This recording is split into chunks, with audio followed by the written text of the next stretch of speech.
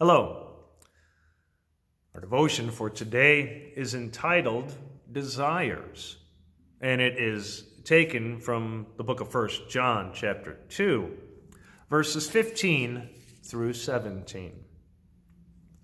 The Apostle John writes Do not love the world or the things in the world. If anyone loves the world, the love of the Father is not in him. For all that is in the world, the desires of the flesh, and the desires of the eyes, and pride in possessions, is not from the Father, but is from the world. And the world is passing away along with its desires. But whoever does the will of God abides forever. With the words, the world, the Apostle John is not writing about the world that God created. No. For God's creation is good. God's children can find happiness within it. The world here means that which has fallen away, what has turned away from God, our rebellious world. This fallen world is everywhere around the good world that God had created.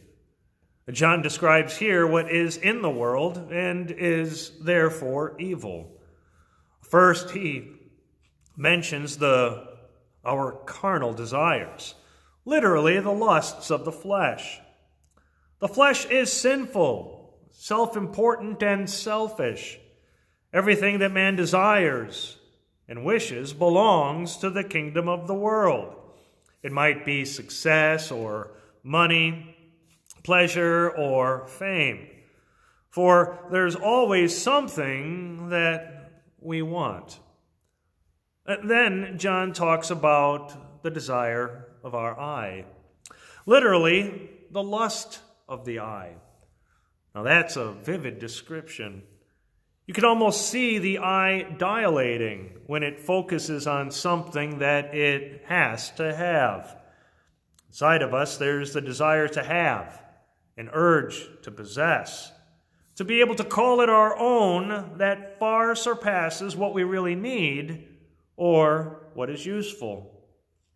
The desire is followed by its shadow, envy.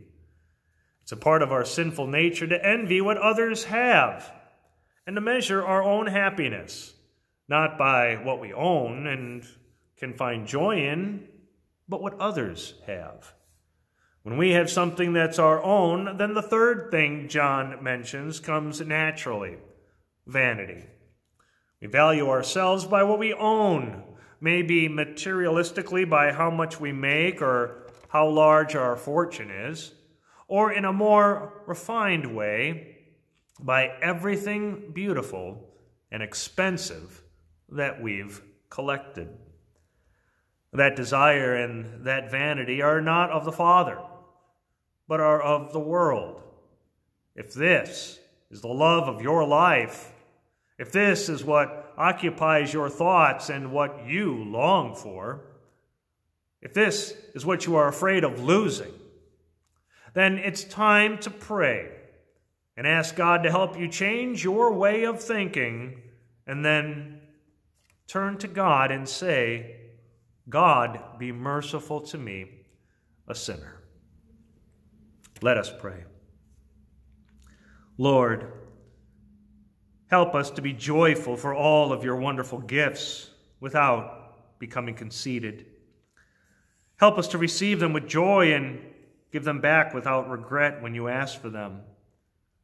Help us be good stewards, realizing that everything is yours and nothing is ours.